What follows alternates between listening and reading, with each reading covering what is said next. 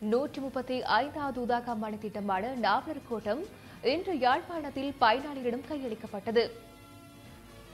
யாழ்ப்பாணம் தென்மராட்சி பகுதியில் நிர்மாணிக்கப்பட்டுள்ள நாவலர் கோட்டத்தில் இருபத்தி ஒன்பது வீடுகள் அமைந்துள்ளன. வீடுகளை கையளிக்கும் நிகழ்வு வீடமைப்பு மற்றும் நிர்மாணத்துறை அமைச்சர் சஜித் பிரேமதாச தலைமையில் நடைபெற்றது. இந்த நிகழ்வில் பாராளுமன்ற உறுப்பினர்கள் வடமாகாண சபை உறுப்பினர்கள் உள்ளிட்ட பலர் கலந்து கொண்டிருந்தனர்.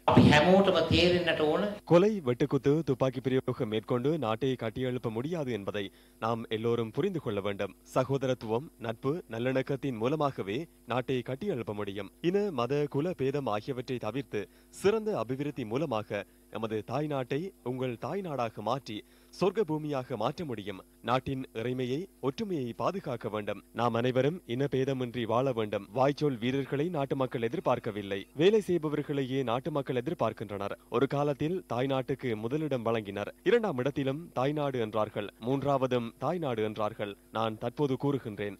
எனது பாதையின் முதலாவது எதிர்பார்ப்பு வீடமைப்பு அபிவிருத்தி இரண்டாவதும் வீடமைப்பு அபிவிருத்தி மூன்றாவதும் வீடமைப்பு அபிவிருத்தியே.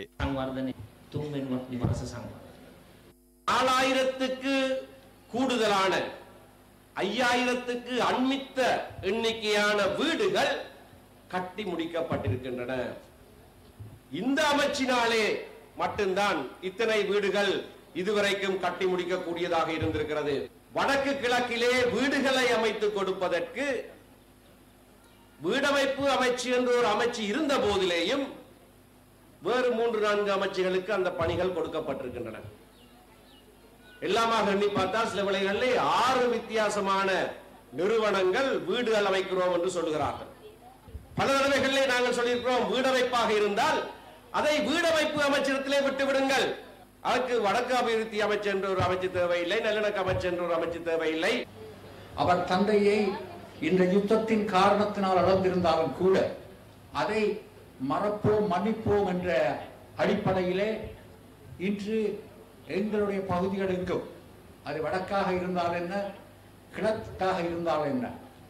மிக முயற்சிகள் செய்து எந்தவித பாகுபாடுமின்றி ஒரு வீட்டு திட்டத்தை ஒவ்வொரு இடத்திலும் கொண்டு வந்து கொண்டிருக்கின்றார்.